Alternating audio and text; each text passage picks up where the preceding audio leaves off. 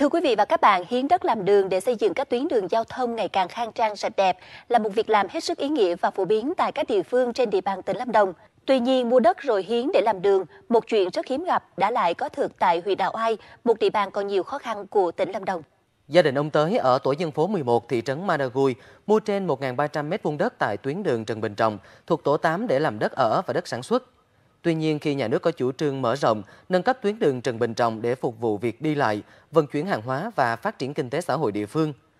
Vô hình chung, toàn bộ diện tích đất của ông Tới lại nằm trên trục đường này. Sau nhiều lần đắn đo suy nghĩ, ông Tới đã quyết định hiến toàn bộ diện tích đất của gia đình để xây dựng tuyến đường này. Xuất phát là ý đó là để mở cái đường này để cho nó thông cái tuyến mà cho nó rộng cái đường ra để cho bà con đi lại. Là sự cái chuyện có vận chuyển một cái thứ gì để xây dựng thì nó có cái đường đi nó thuận lợi nó dễ hơn. Mà cho đến bây giờ tức là mở từ năm 2013 mà đến bây giờ coi như được nhà nước coi như là quan tâm đến mà làm cái đường khúc đường đây là làm đường nhựa. Nó thật nói là dân tôi ở đây cũng rất mực Noi gương ông tới, hiện nay trên 150 hội dân tại tổ dân phố 8 có diện tích đất trên tuyến đường cùng tham gia hiến hàng ngàn mét vuông đất, cây trồng trên đất để xây dựng các tuyến đường giao thông. Hộ ít thì vài chục mét vuông, hộ nhiều thì hàng trăm mét. Tất đất quý như tất vàng là vậy, nhưng với người dân ở đây, tinh thần tập thể, tinh thần vì một cộng đồng xã hội phát triển còn đáng quý hơn nhiều lần. Muốn ờ, tạo được một cái cái cái gì trong cái việc mà dân hưởng ứng thì đặc biệt là cái ờ, cán bộ là phải là người phải gương mẫu, ờ, phải tích cực và phải có những cái công việc cụ thể Ờ, thu hút được cái ờ, lòng dân thì ờ, đưa đến một cái kết quả nó ừ, cao hơn. Hiện nay thì riêng tổ 12 thì mặc dù cơ sở nhưng mà được cái là sự đoàn kết trong nội bộ ấy, và sự nhất trí từ sự chỉ đạo của cấp ủy của chi bộ cho đến ủy ban dân thì các đoàn thể tham gia rất tích cực. Trong năm 2017, thị trấn Madagui đã xây dựng được 8 tuyến đường giao thông dẫn vào khu dân cư, khu sản xuất, với mỗi tuyến đường từ 800m đến trên 1 km.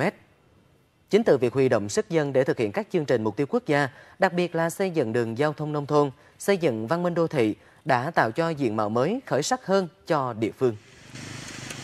Trước khi mà đi à, ký kết của các cái hộ thì ở trong tổ cái hệ thống chính trị đấy à, họp lại và tháo ra những các cái hộ nào mà có thể là mình xác định rằng cái hộ đó người ta khó khăn nhất thì mình đi vận động trước. Với cái cách làm đó thì nhân dân rất là ủng hộ và rất là đồng tình. À, còn những cái hộ nào mà sau khi vận động rồi người ta có những cái mà ví dụ chẳng hạn như thế là cái công trình của người ta lớn quá thì người ta đòi hỏi về cái hỗ trợ về cái hỗ trợ thì mình lại để sau rồi mình lại tuyên truyền sau có nghĩa là mình thực hiện cái mưa dầm thấm lâu chứ không có phải là tuyên truyền một lúc. Mà cũng không có phải là những cái hộ đã khó khăn rồi thì không phải là lúc nào cũng kéo nhau đến cả đoàn để đi vận động. Mà phân công từng người một, từng người một và đi tuyên truyền dần. Kia là thị trấn, những cái con đường rất là nhỏ nhỏ hẹp, rồi là những cái con đường rất là lầy lội. Tuy nhiên là đến thời điểm này thì hầu như đa số các tuyến đường đã được bê tông hóa. Còn mở rộng các, mở rộng hành lang rồi đèn chiếu sáng thì rất nhiều các tuyến đường rồi những việc làm hết sức ý nghĩa của ông Tới và hàng trăm hội dân khác ở huyện Đào Ai đã và đang từng ngày tạo sức lan tỏa mạnh mẽ trong cộng đồng xã hội. Điều này không chỉ giúp địa phương hoàn thành sớm các tiêu chí trong chương trình xây dựng nông thôn mới, xây dựng đô thị văn minh, mà còn thể hiện tinh thần đoàn kết, sự đồng lòng cao trong quần chúng nhân dân vì một xã hội phát triển.